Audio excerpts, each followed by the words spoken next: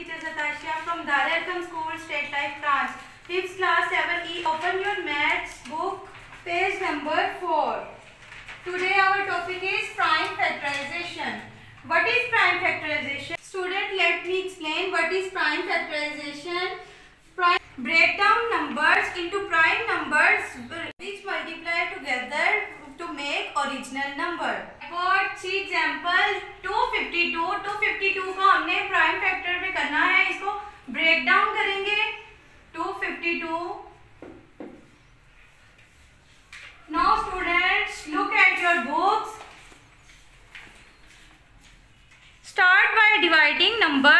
Smallest prime factor and continue divide it until you get one.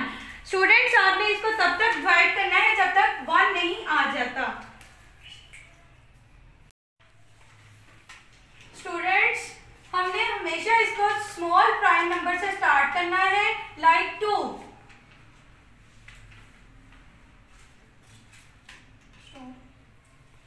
Table में two आता है yes two one जा two okay next है two five five five आता है two के टेबल में टू वन जा टू टू टू जा फोर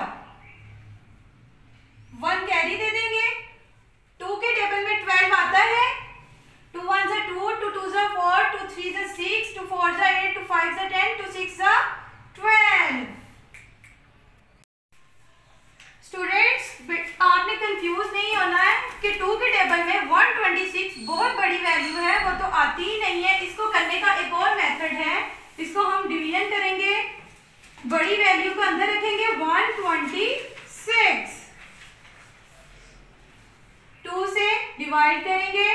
टू के टेबल में 12 आता है। कहाँ पे आता है? टू सिक्स ट्वेल्व माइनस करेंगे। 12 में से 12 माइनस किया तो ज़ीरो सिक्स को नीचे ले आएँगे टू के टेबल में सिक्स आता है यस टू थ्री जा सिक्स इसको भी माइनस करेंगे सिक्स में से सिक्स माइनस किया ज़ीरो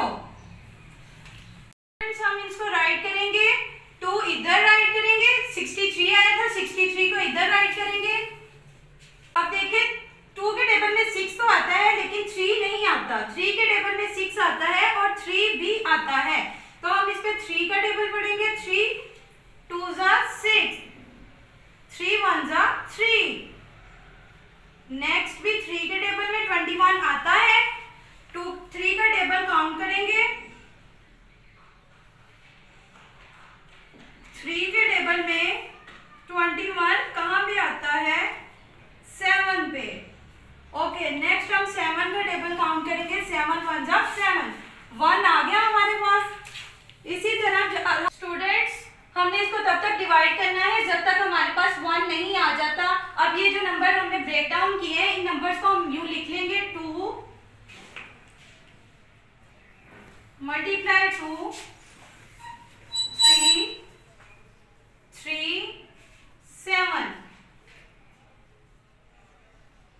two fifty two अब हम इनको मल्टीप्लाई करेंगे तो हमारे पास आंसर सेम ही आएगा इसे हम क्या कहते हैं प्राइम फैक्टराइजेशन अब हम इसको यू लिखेंगे टू टू टू टाइम्स है तो टू का स्क्वायर